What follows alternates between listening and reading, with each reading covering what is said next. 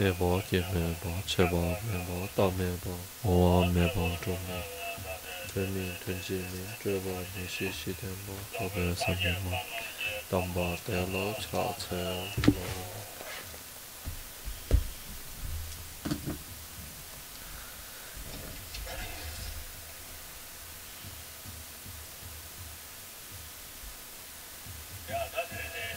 今天呢？那由西藏佛教中心，也就是由通多荣切的领导下，安排了这一次的活动，并且有许多有心人士，嗯，来到这里，那希望我为他们讲解佛法。所以，因为仁波切有这样祈请。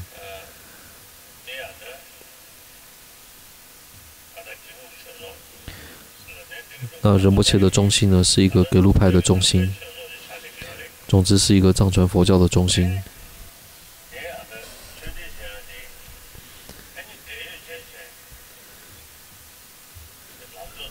所以，呃，仁波切邀请我来请来讲解三主要道和缘起赞。那我觉得缘起赞呢，呃，是对佛法整体的一个。解释，那三主要道呢？是解释了佛教的概要之后，如何修行的一个手册。这是三主要道。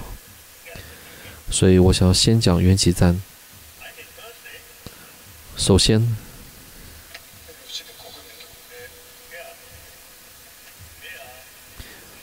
我们哦都是人类，所以我们并没有特别。无论在我们的情绪上，或者我们的心理上，或者我们的生理上，我们都是一样的。无论我们是意大利人，或者是西藏人，或者是来自其他国家的人，我们都有两个眼睛、一个鼻子、一个嘴巴，所以我们都是一样的。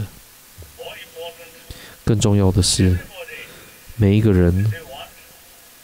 都想要快乐的生活，没有人想要痛苦，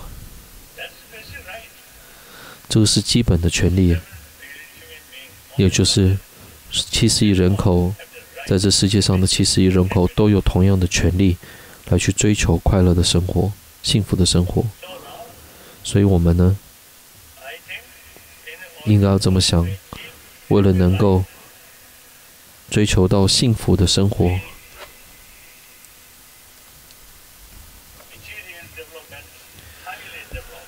虽然我们在物质上的发展非常的先进，我们有这些先进的科技，还有先进的科学，有时候这些先进的科技呢，却会制造为，会成为呃更多畏惧的因素。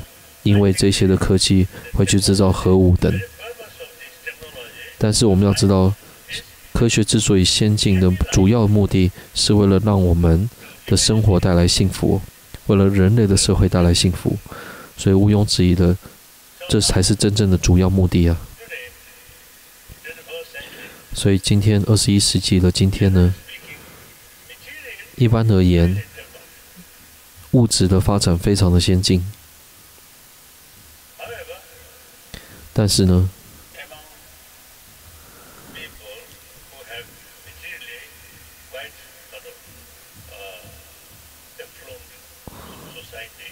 那在这个物质发展的国家们，还有这个社会当中，确实有很多的人，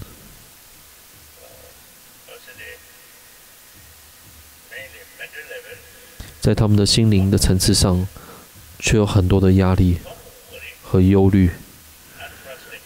以及啊，压迫感等。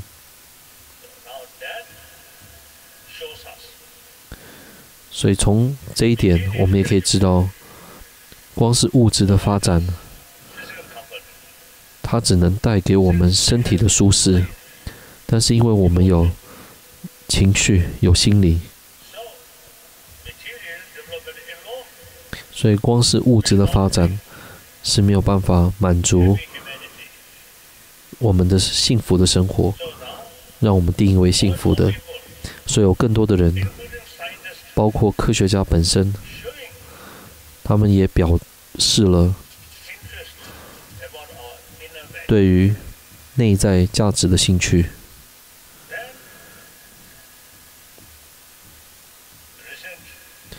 最近这几年，这几年，有时候跟科学家去交流的时候，有些科学家们说到了，通过他们的观察，他们结论了一点，也就是说，人类的天性是慈爱的、慈悲的，所以很明显的。根据我们的经验，人们呢，对你好，对你微笑，对你伸展出温暖之手的时候，我们会快乐吗？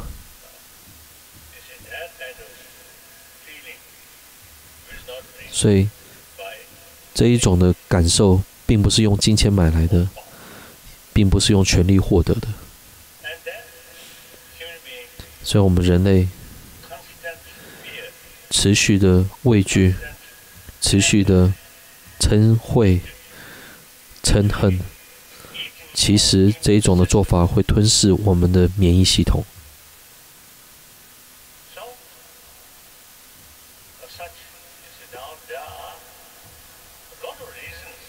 所以有很多的理由可以让我们知道，我们人类。是需要更多内在的慈爱的感受，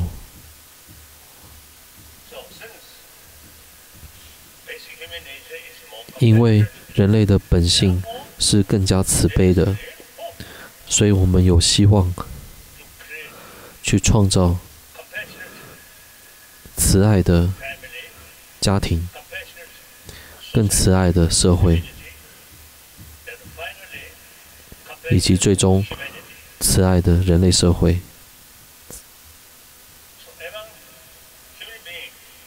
所以在人类族群里面，确实有一些人对于宗教信仰是没有兴趣的，宗教是没有兴趣的。所以根据一些数据报告，我知道有七十亿人口里面。大约有十亿人口是没有宗教信仰的。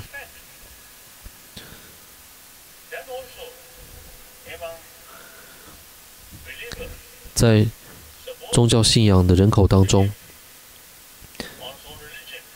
那他们应该是要相信自己的宗教的，而且要好好的去修行，来去实践慈爱、宽恕等。但是在他们真正的生活当中，但是却充斥着充嗔恚，充斥着嗔恨，所以有这种的嗔恚，而产生了更多的冲突，而更多的杀戮。所以哪怕嗯自认为是宗教信仰者，但是却缺乏了真正的修炼，对慈爱的修炼。而导致的这些问题啊，所以为了能够创创造出更有慈爱的社会，我们需要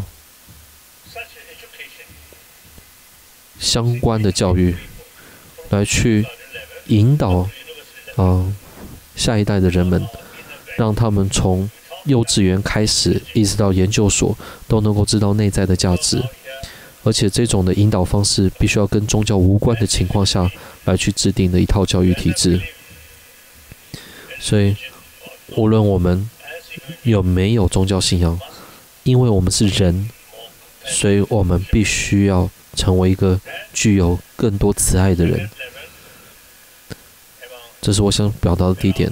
那在第二层次，啊，从第二层次来讲的话呢，我作为七十亿人口的一员。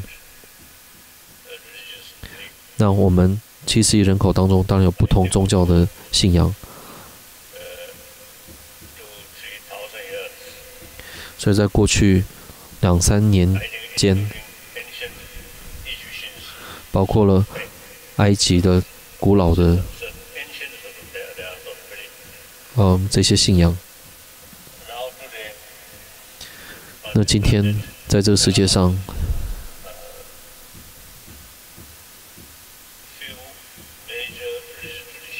有少数的主流的宗教，这一切的主流的宗教呢，都传达的相同的讯息，爱的讯息。为了能够修炼，更有效率的修炼，爱。所以我们需要去修炼宽恕、宽恕、原谅、自律、呃知足。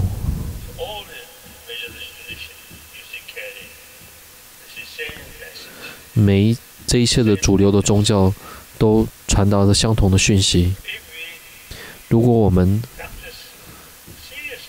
认真的修修行、修炼的话，那这一切主流的宗教都有相同的潜能来去创造，让我们成为一个更慈爱的人，让我们的家庭成为更慈爱的家庭，以及更慈爱的社会。所以在这世界上所有的主流的宗教都有共同的责任，去推动人类的基本价值。也就是慈爱的价值，所以宗教之间的和谐是相当重要的。所以我非常的高兴，也非常的荣幸，在此来到不同宗教的这些代表们来到现场，非常感谢你们的莅临。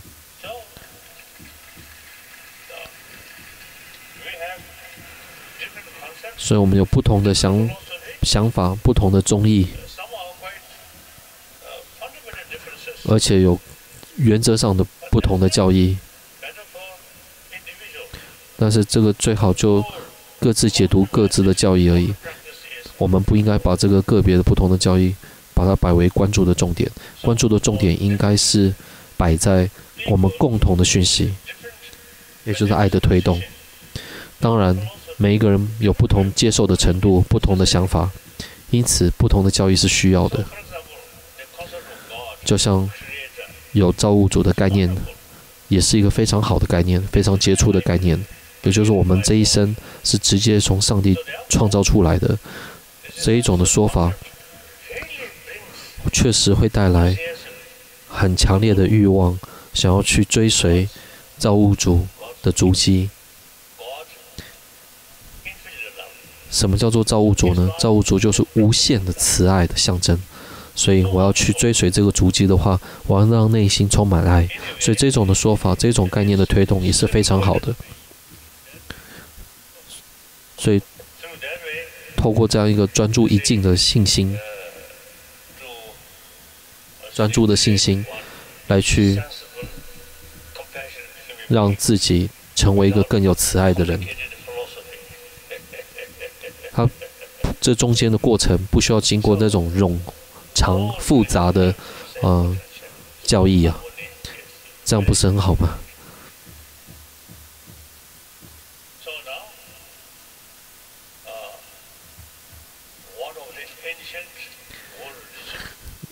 那嗯，佛教呢是古老的宗教之一，以历史上来讲的话呢，佛教。是来自于东方。同样的，印度教，还有犹太教，哦，耆那教不是犹太教，说错了，耆那教都是来自于印度的。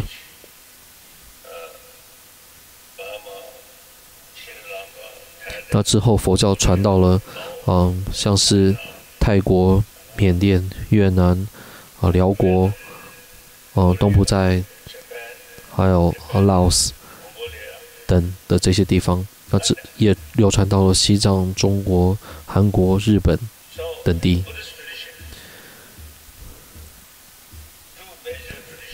所以佛教的传统可以分为两者，一个叫做巴利文、巴利语系的传统，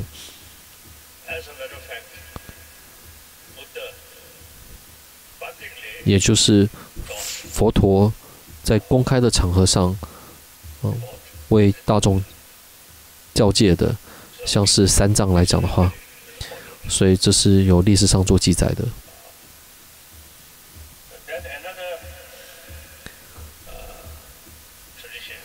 那另外一个传统呢，是梵文语系所建立的传统。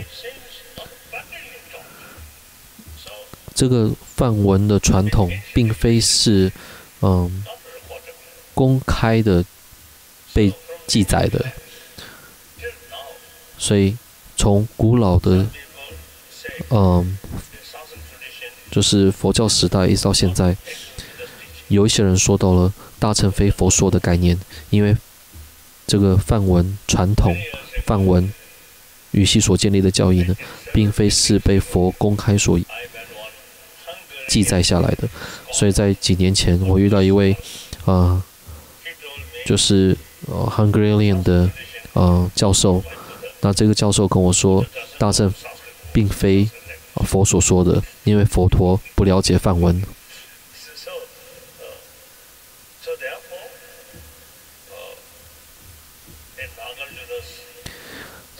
所以在龙树菩萨的著作，还有呃慈尊的著作，以及呃吉天的著作，还有轻便的著作，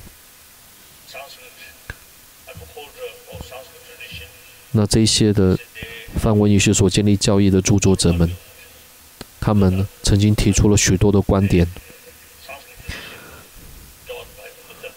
来去。反驳大乘非佛说的论述，而且他们说，这些梵文意识所建立的教义不需要佛陀公开的被记载的。所以佛法的传统很明显的可以分两者，一个叫巴利传统、巴利文传统，一个叫梵文传统。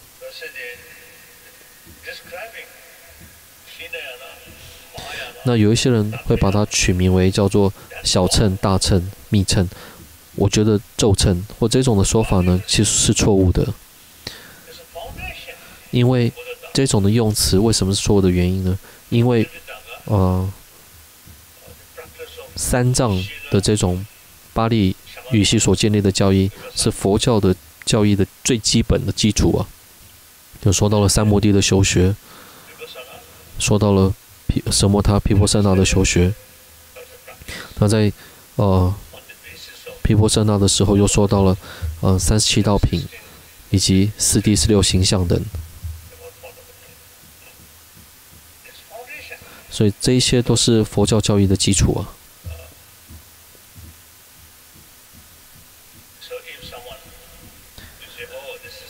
如果你觉得这个是小乘的话，没有佛教的教义的基础，没有这个基本的教义。我们如何能够去诠释佛教呢？所以在这样一个基础之上，我们才去建立了六波罗波六度、六波罗波罗蜜、六波罗蜜，还有再去建立菩提心的修持。那再来去建，再来去建立了更细微的无我的论述，也就是空性的论述。而形成了梵文语系所建立的教义，所以对于灭地的更详细的解释，也就是根据无我的论述来去做更详细的灭地的解释，这是梵文语系所建立的教义。但是这一切的基本都是因为有了巴利语系所建立的教义，才有办法产生的。所以。巴利语系所建立的教义跟范文系的教建立教义不应该区分应该把它想为巴利语系的教义就是巴利范文语系所建立教育的基础。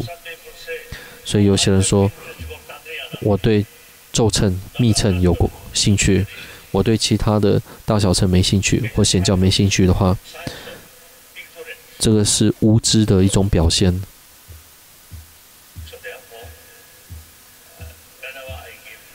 所以当我在开示佛教的时候，如果有人能够念诵哦这个吉祥经，用巴利语言来去念诵的话，我都会请他们在讲解之前，先以巴利语来去念诵吉祥经，那之后再以梵语啊来去念诵啊般若心经，也就是般若二十五颂，又称心经。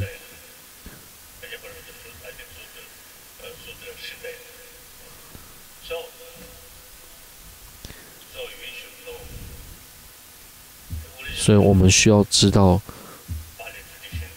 其实最原始的巴利语系所建立的教义，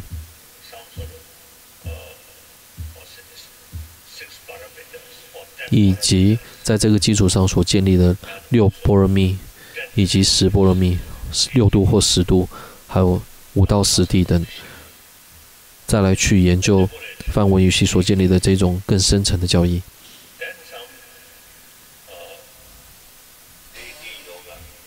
那在这个基础之上，再来去学习本尊瑜伽，来去进入咒称或者密称。如果能够学习到大小圣贤密圆满的教法的话，那这一种的修炼呢，才能够完整，而且更为稳定。所以现在是时候了。当我们在努力的时候，当我们在努力推动。不同宗教的，呃，信仰的一个和谐的时候，我们也需要推动佛教之间的一个和谐，佛教者之间的和谐。因为我们过去说你是小乘，哦，你是大乘，有很多人也时常说藏传佛教、汉传佛教。韩传佛教、日传佛教等，我觉得这种的说法都是错误的。而且我们有红教、白教、黄教、花教的这种说辞。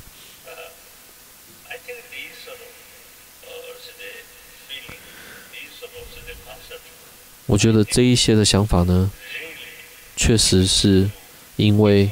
缺缺乏了知识，对于教法基本的一个认知的知识而产生的，因为缺乏这样一个知识，这是一种无名的表现。我们要知道说，这是佛教的原始的教义，那不是一些西藏的喇嘛他们戴戴上了红色的呃法帽之后而为我们传授的，并不是的。我们必须要回到。嗯，最原始的教义，这个是纳兰陀寺的传统。你们这里面听得懂英文的话，请举手。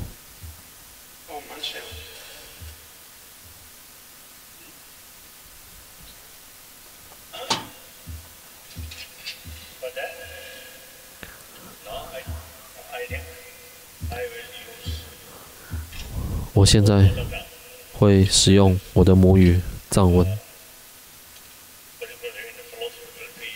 尤其是在这个教授的解释上，我的英文是不够的。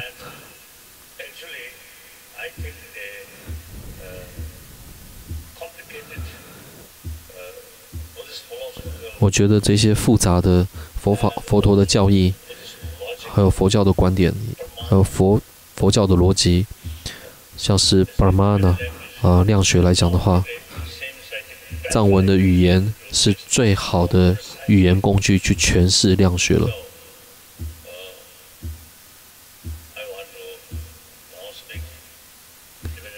所以我现在用藏文来为你们讲解。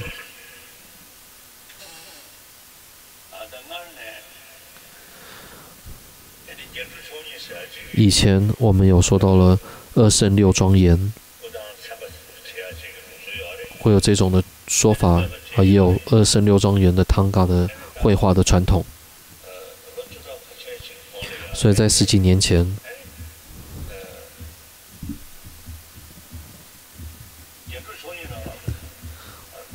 在二圣六庄园里面并没有列入的，像是佛护论师、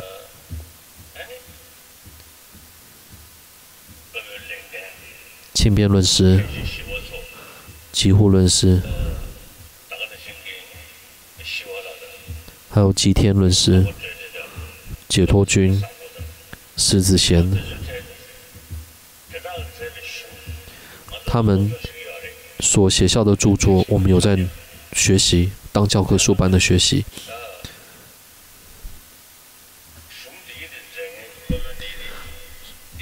所以这些的大师们必须要列为我们礼拜的对象。因此，我写下了十七班智达的祈请文，而去礼赞这十七位班智达。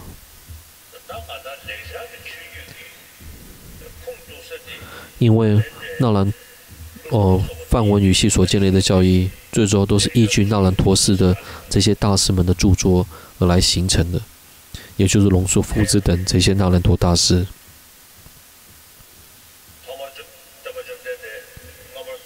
岛上摩尼佛获得了正觉果位之后，那获得正觉果位的之后。立即说到了升级离系光明无为法，犹如甘露此法我已得，若是于他无有谁能知，不如住于无语森林中。曾经说到这么一句话，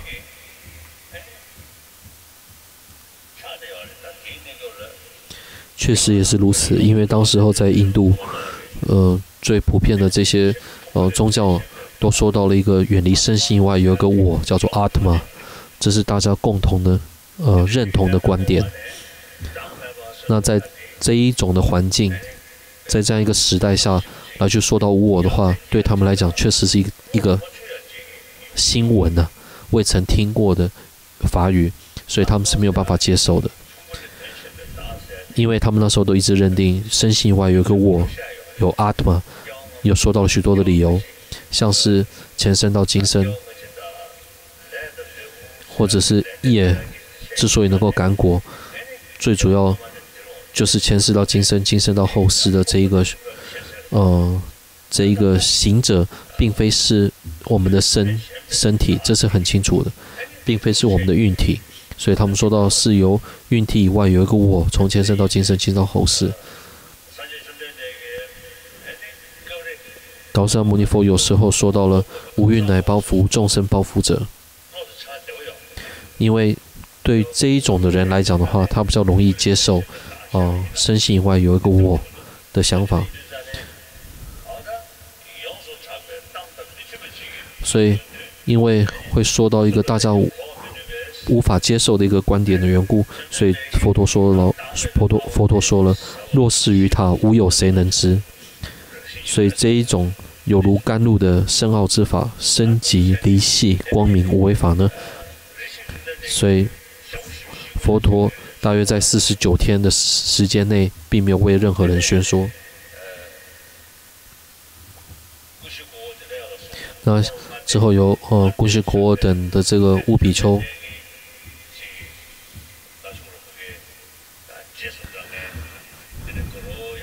那嗯等皈依了佛陀，还有佛陀的弟子越来越多之后，在呃瓦拉纳西的这个地方。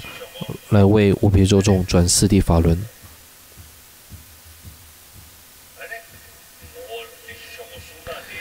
在讲解四谛法轮的时候呢，是以自信，呃，四谛的性质、四谛的作用、四谛的果实，以三种不同的角度来去说四，来去诠释四圣谛的。而且四谛。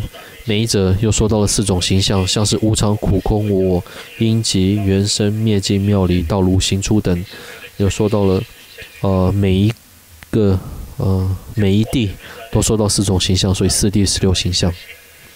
所以在学习的时候，又说到了四念住、生念住、受念住、心念住、法念住。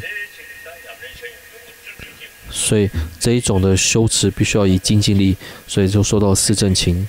未生恶法令不生，已生恶法恒里面；未生善法令出生，已生善法令增长。那获得了精进力，能够呃随心所欲的来去操控心的缘故，而产生了四神足。那透过这样一个直观之道，而产生五根、五力、七绝之、八正道等，所以而来去说到了三十七道品。上述的内容呢，都是属于大小乘的共同的基础，还有包括咒称，包括金密咒金刚称。现在有一些人认为我是密咒金刚称的修行者，所以我我没有办法说我是密咒金刚称的修行者，但是我不会。数这四第十六形象，如果有这种的说法的话，这是错误的。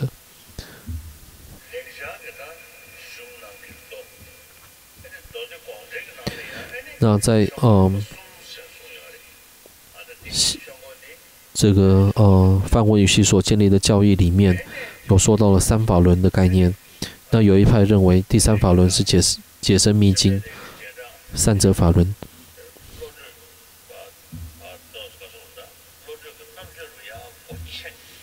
那之后，嗯，这些学佛的弟子们的智慧越来越增上的时候，那佛陀对他们转第二个法轮，次转法轮，无相法轮。那这个呢，就是属于梵文语系所建立的教义的依据了。所以梵文传统的持有者，他们都会觉得说，在灵鹫山是他们大乘教法的圣地，因为。这个灵鹫山呢，是般若经的呃圣地，讲解般若经的圣地。所以佛陀在灵鹫山讲解了许多的大乘的教典，如般若经等。根据当时候弟子们的智慧力的不同，还有根据他们的一个善根的不同，所以而形成了。般若的广中略不同的版本，所以根据解生密经来讲的话呢，次转法轮、无相法轮呢，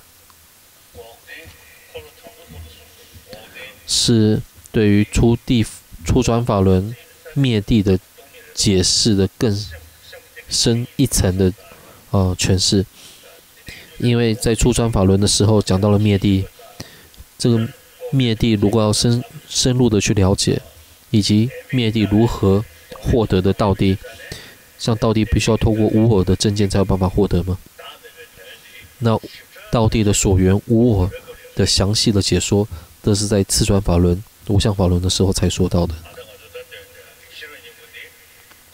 像我们现在正在念诵的心经来讲的话，就属于般若略略版，般若经的略版。那之后，在呃不决定处呃所传授的这个法轮呢，我们把它归类为后转法轮。嗯，当然解释密经也是后传法轮之一。那根据解释密经的话，解释密经是怎么说的呢？也就是在次传法轮的时候，说到了诸法无有自相，无有自性。但是有一些人他没有办法去接受。诸法无有自相、无有自性的这一派的根器者们，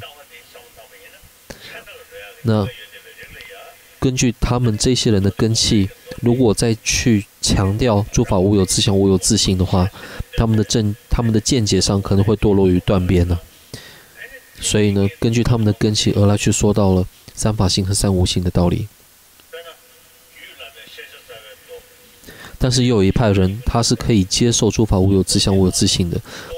所以，根据这些根器的众生们，也就是宝性论的最主要的依据，也就如来藏经。如来藏经有说到了镜上的空性，非常深奥的解释。那不止如此，在密咒金刚称的最主要的殊胜呢，就是透过了辨别粗细的心事，而来去说到了密咒的殊胜的。那根据谢玉多杰库来讲的话呢，呃，密咒金刚称可以分四四派。那真正的密咒金刚称的殊胜呢，是在无上瑜伽的时候，啊，才有办法去诠释密座金刚称的殊胜。那在无上密里面，它是如何诠释的呢？透过了区分的粗细的层次，将这个细微的层次的心事转为道用，也就是说到了具生原始光明转为道用的方式。所以不只是净光明的修持以外，更重要的是视光明的修持。所以净光明就是空性以外，了解空性的智慧，必须要很细微的心事来去转为道用，而来去说到了密咒金刚乘的殊胜。所以在最后的后转法轮，如来藏经里面说到了，嗯，心的本性是光明体性。是为名为观的一种性质。那佛佛地的时候呢，佛陀的色身是有为法的，他必须要经由同类因才能感得同类果的。所以在佛果位的这个功德，如果是有为法的话，他必须得依赖着因缘才有办法产生嘛。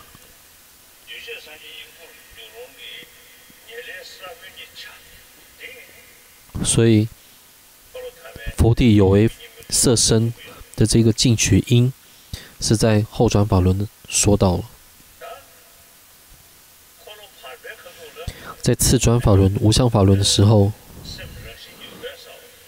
说到了心呃无有自性，所以心无有自性和心的为名为观的这个体性，这两者应该。搭配着解释，就以圣义地来讲的话呢，心是无有自性的；但是以世俗的角度来讲的话呢，心是为名为官的一个体性。所以搭配这两者而来去解说，成佛的果位是可以获得的，是存在的。所以而说到了如来藏，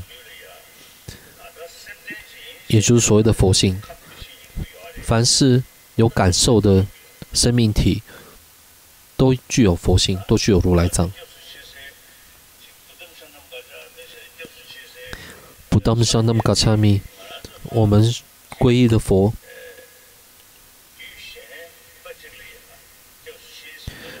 并非是呃只有去皈依某个其他者以外，更重要的是，我们自己具有能力，能够成为现在正在皈依的对象。类似现在正在皈依对象的佛的功德，我们是有潜能能够去获得佛的佛的功德的，以这种方式来去皈依。所以以圣义地来讲的话，说到了心无有自信；还有以世呃以圣义的角度来讲的话，心无有自信；以世俗的角度来讲的话，说到了心的为名为观，是以这种的方式来去。证明了，以理由来去证明了成佛是可能的，所以《宝训论》里面说到了：一切诸佛平等法性生，知一切众生皆有如来藏。我们成佛的果位，并非是一步登天就可以获得的，所以必须要通过有学的四道，才有办法慢慢慢慢的修炼，来去成就佛果位的。也就是《心经》里面所说的“揭谛揭谛，波罗揭谛，波罗僧揭谛，菩提萨婆诃”。这里面说到了质量道、加行道、见道、修道。那菩提也说好呢，说到了无学道。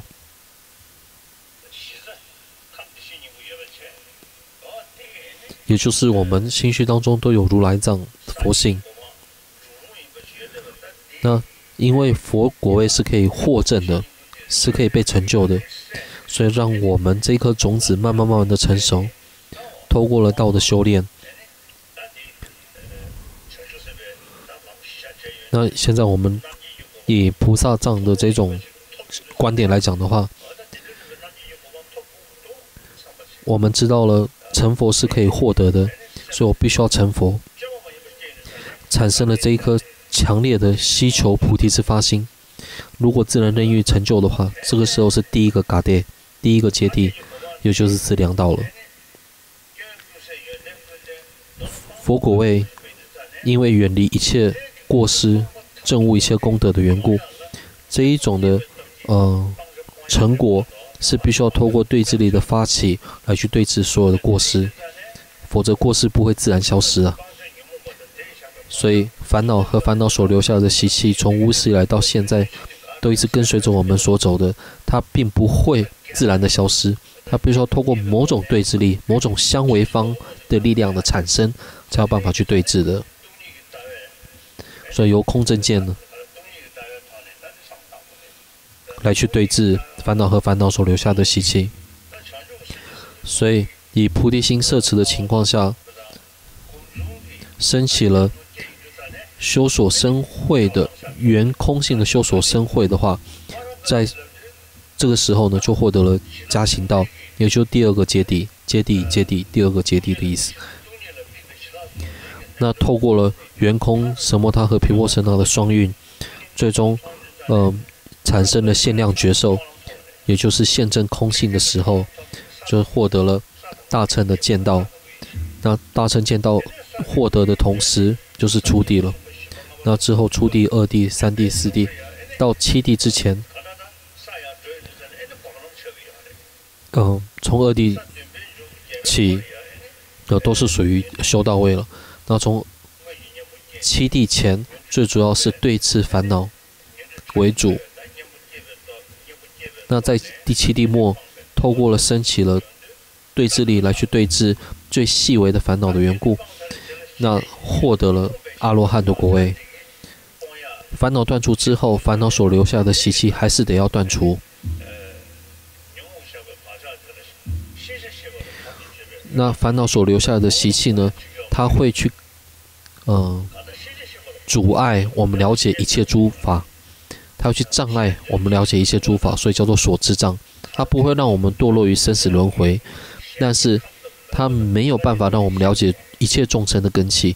因为如果我们要圆满他力事业的话，我们必须要知道一切众生他的想法是什么，根器是什么，才有办法适合他的根器说说出了相应他根器的法。所以我们必须要升起一个尽所有的一切片质，才有办法。所以为了能够升起如所有性和尽所有性的一切片质，我们必须要去除所知障。那所知障的去除，靠的是。空正见的修持来去对峙的，所以在第八地、第九地、第十地的时候，因为尽除了一切烦恼了，所以叫做清净三地。所以在这三地的时候，最主要就对峙了所知障。那所知障彻底断除的时候，就是菩提也说哈，成就了大呃正觉果位大菩提。所以声闻乘、独觉乘，还有菩萨乘，有三乘，呃，十五道，每一寸都有五道嘛。那以大乘来讲的话，五道十地等，也就是我们现有的如来藏，是具有潜能来去承办四生的果位。那透过这些的道次第，来去慢慢慢的获得了正觉的果位的。如果道是可以这样去获证的话，那这个怎么获证呢？这些道次第是怎么样的修炼呢？那在般若经里面说到了显义空性、隐义道次、现观道次第。所以我们看心经来讲的话，在它的词面上最主要都讲到了空性。那隐义现观道次第是怎么样诠释的呢？根据空一有法的一个诠释来去间接的，呃，来去说到了现观道次的。所以从菩提心，呃，为空一有法之后，一直到一切片质，都在解释，呃，现观道次第。所以在印度来讲的话呢，我们有这种的说法，显义空性的这个传承，我们称为叫做深奥行。那隐义现观道次第的传承呢，我们称为叫广大行。我说到了深见和广大两两派的传承。虽然是。方便和智慧是不可分离的，是要双运的。但是根据它的一个最主要诠释的内容来去区分深奥型和广大型这两者。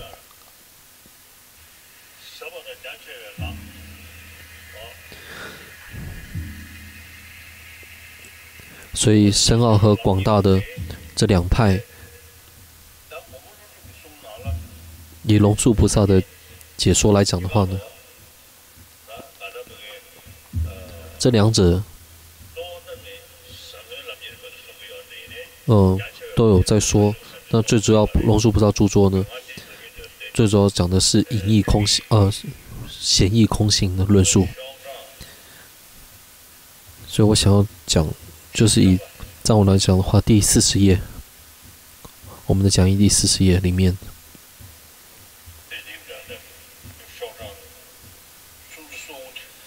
第三十九页。也就是《宝曼论》里面所说的“如地水火风，药及旷野树，愿众生恒常随意而受用。余生如爱命，随彼皆爱我。重罪先过，我善事众生。何时有有情未得解脱者？我虽得菩提，誓愿助三有。”这三句话呢，讲的是广大行的最主要的教授，也就菩提心。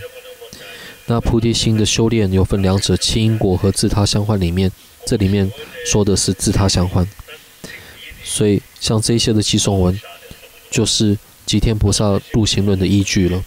所以龙树菩萨在那菩提心事里面也说到了自他相换之理。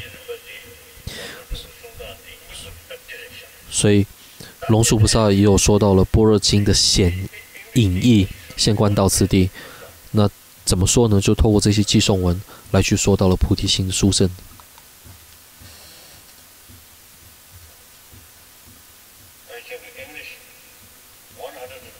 以英文的话，是在一百二十四页。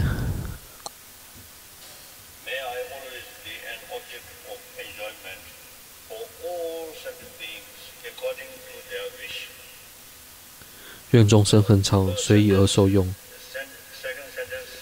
第二句寄送文：愿生余生如爱民，随彼即爱我。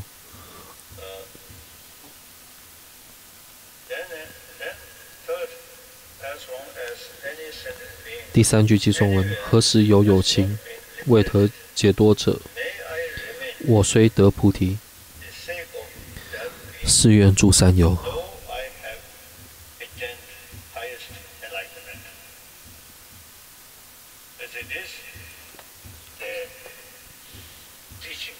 所以这些的教授所诠释的无量的这种强大的心力，这是我每一天都要去念诵的内容。这些的寄诵文，确实，这一些寄诵文的念诵，带了我带给我极大的帮助，让我知道人生的意义，让我更有心力。当有这种坚定的呃心力的时候，我们不需要再去忧虑，不需要再去担心其他这些杂琐的事情，因为毕竟这些都无有意义。比起这种心力，所以这一上我想要讲的是有关于般若经历的隐义的呃相关到此地广大型的部分。那藏文的四十页也说到了。是夫非地水，非火风即空，非是非一切，何止是是夫？是夫六界何？故非有实有。如是一一切，何故亦非实？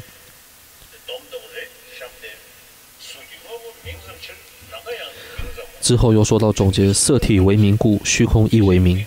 无大何有色？故为名亦无。所以这两个寄送文，以英文来讲的话。是夫非地水，非火风即空，非是非一切，何者是是夫？是夫六界何？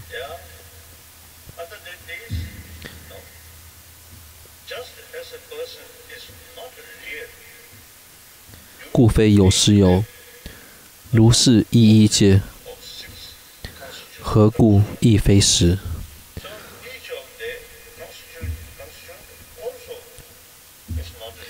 充的话，现在尊者在以英文来去念诵这七首文，刚刚是以藏文来念诵。而且下面这句话非常的重要，非常的强而有力。英文要是这样讲的，现在尊者在念诵英文。补充的话，那翻成中文的话，色体为名故，虚空亦为名。无大何有色，故为名亦无。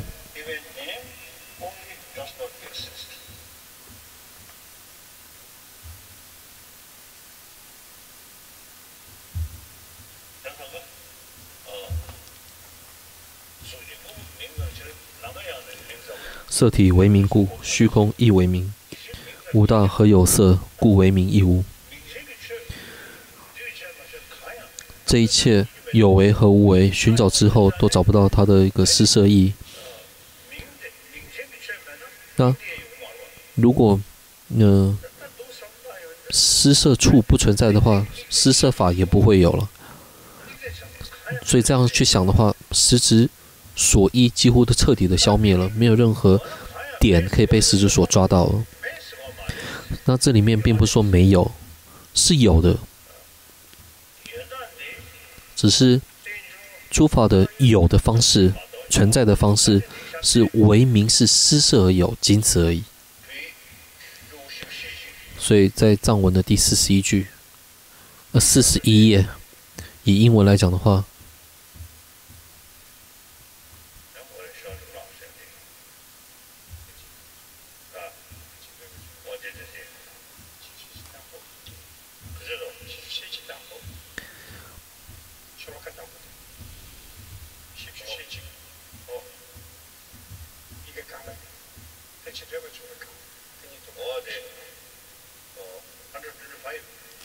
文来讲的话，一百二十五页。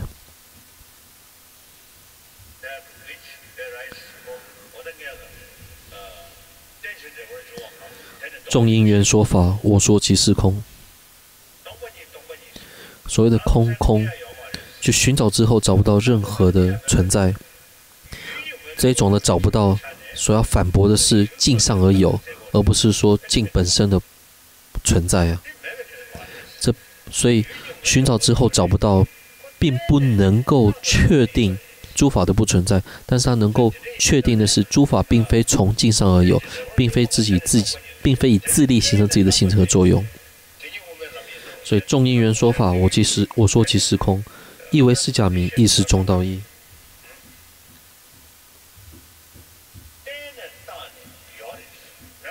由施设而来去说到了诸法的存在，所以诸法并非是不存在的。这些都施设而有，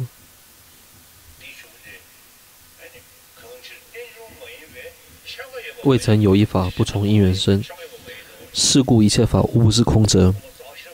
这是龙树在中论里面，龙树菩萨在中论里面所做的总结。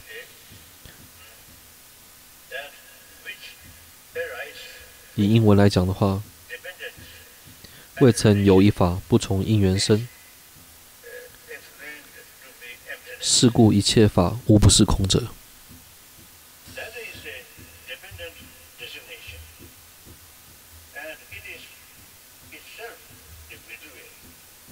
众因缘说法，我说即是空。意思为是假名，意是中道义。因为，呃，并非从自己的力量形成自己的性质和作用，所以并非是堕落于长边。那以施设而有。所以才能够产生它的一个抽象化的作用的缘故，所以并非堕落于断边，而去入到中道，所以这样才能够远离长边和堕边、断边而这两者。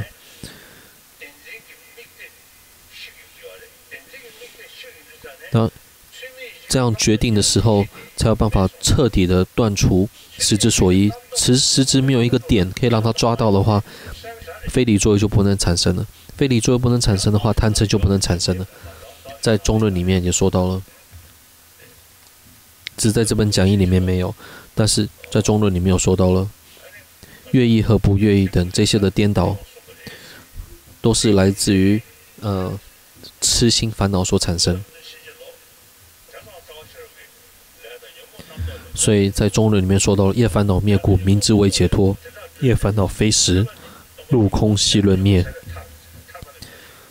首先，先讲到了解脱，解脱什么呢？业烦恼灭故，名字为解脱。那为什么不能获得解脱呢？最主要是有，呃，业，业来自于烦恼，所以业烦恼烦恼是来自于非实不符合的实实相的非理作意所产生，所以业烦恼非实。那非实是来自于哪里？来自于细论，就真实实的细论，所以入空细论灭。也烦恼非实，入空细论灭。确实，我也花了许多年的时间来去反复的思维空性的道理。如果了解真相，了解无我的话，思维无我的话，确实可以让我们不会产生，不会现起烦恼。我这种烦恼的不现起，并非是来自于止观双运的这种修学三三摩地的修持，而是透过空性的思维，就此仅此而已。所以从此也可以确定，光是空性的思维就不会产生费力作意，烦恼无法现起的话，绝对可以透过空性的思维彻底的断除烦恼的根本，这是可以相信的。从因缘生，是故一切法无不是空者。这就是中国八大师缘起战队最主要的根本了。午饭呢，也是为名，呃，名士施舍而有。要吃午饭的人，也是为名士施舍而有。那吃饱的肚子，也是名士失身而有。所以空正见呢，会让我们断除，呃，坚定自信的执着，但是。对于这个名相抽象化的这个作用呢，却不会有任何的损害。